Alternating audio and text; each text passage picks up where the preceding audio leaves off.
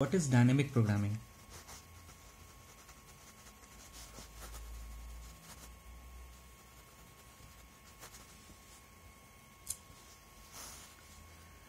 Dynamic programming is basically one of the approach we used in computer science to solve a problem.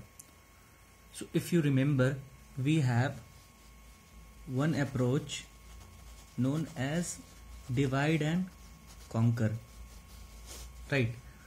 So what this approach does we divide the problems and we conquer the result of each of the divided sub problems so basic idea is to divide the problems into smaller chunks resolve them individually and combine the solution to get the solution of a bigger problem. Right. So how we proceed for divide and conquer if you remember we use recurrence for that. So in a similar fashion we have a different approach called dynamic programming. First of all do not get confused with this word programming. This dynamic programming was invented by Bellman in some 1950s okay. So basically at that time programming used to call as a table right? Everything we compute and put it in table. So programming is basically tabular data. So basically we apply this approach to fill tables right so we keep the store we keep the information in our table and then we use if when we required right? So if you remember what is the basic idea is to divide a bigger problem into sub problems so let us suppose we have a bigger problem and we divided this into smaller chunks. And we have some common sub problems, some common part. So if you remember in divide and conquer, what we do, we try to resolve this separately, we try to resolve this separately, we try to resolve this separately. If you see, this portion is twice resolved, twice solved. This portion is also twice solved.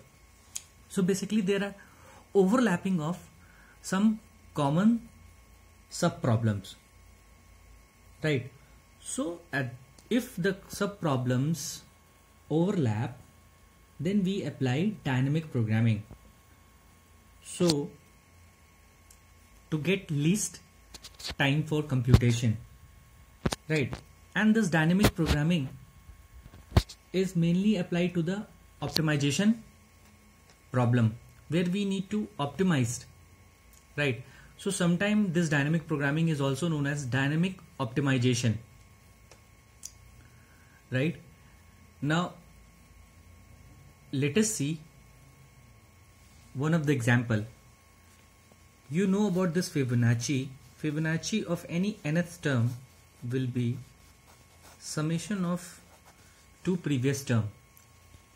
So if we want to compute Fibonacci of 6 we need to compute the Fibonacci of 5 and Fibonacci of 4 for 5 we need to compute for Fibonacci of 4 and Fibonacci of 3 for this 3 2 for this 3 2 this is 2 1 this is 2 1 this is 1 and 0 similarly this will be 2 1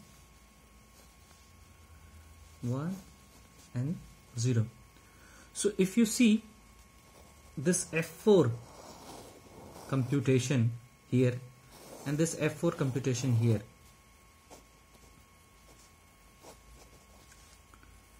right?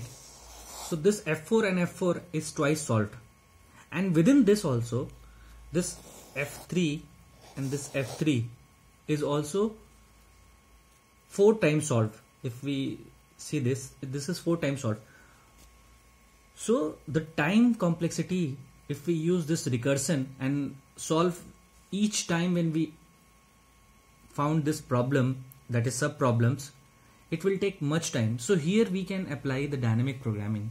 So how do we apply dynamic programming? There are two approach. One approach is bottom up approach.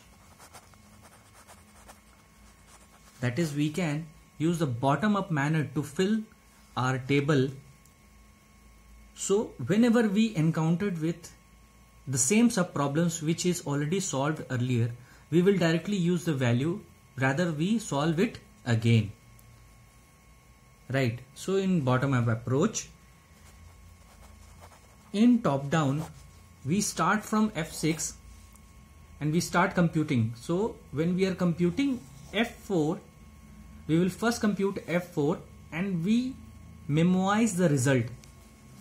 So top down always occur with memoization. So what is memoization?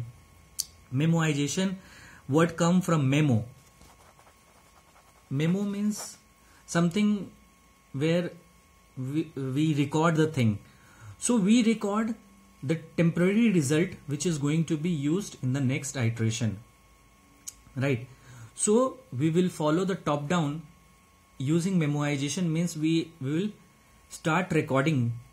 We will start storing our result not all the result which is going to be used the immediate result we are going to store in memoization. But we are not solving the entire table in top down memoization but in bottom up approach we solve all set of possibility for that problem. Right? In top down approach we mainly use array or hash table to store result. So for memo we use data structure either array or hash table. While in case of bottom up approach we generally take tables mostly functions use 2d tables. Right so how to solve this in a bottom up approach? So in bottom up approach we know our base case. Fibonacci 0 is 0 Fibonacci 1 is 1 so we will we have a table and we are computing 0 1 then after when we are computing this f2 we will use this table and we will pick up the value from the previous this two and we will add up. When we are computing f3 we will use this table to pick up the previous value. This will be 3 this will be 5 so in this fashion if we want to compute the 150th Fibonacci we will start from bottom up. That is we will start from f0 we have a base case f0 and f1 so we start from f2 and we will add up the previous one previous one. So basically we required some optimal substructure for this and it should be some overlapping sub problems then only we can apply this dynamic programming. So as we can see we have overlapping sub problems here. That's why we are applying dynamic programming here. Now what happened in top down? In top down we start from computing f6 when we are computing f4 in this recursion method we use recursion method but with memoization. So we store this value of f4 and we will use f4 when we want to compute here. Right?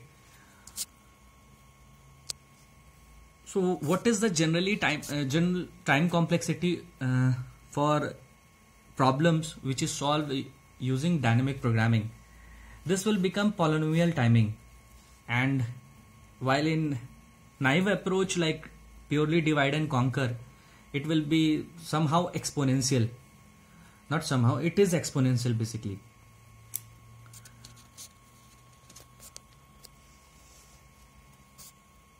In my channel you can find more problem is solved using this dynamic programming approach. The famous dynamic programming problem are like 0 1 knapsack problem, matrix chain multiplication problem, longest common subsequence, which you can also find in Cormen book CLRS. Hope you enjoyed it. Thank you. Have a nice day.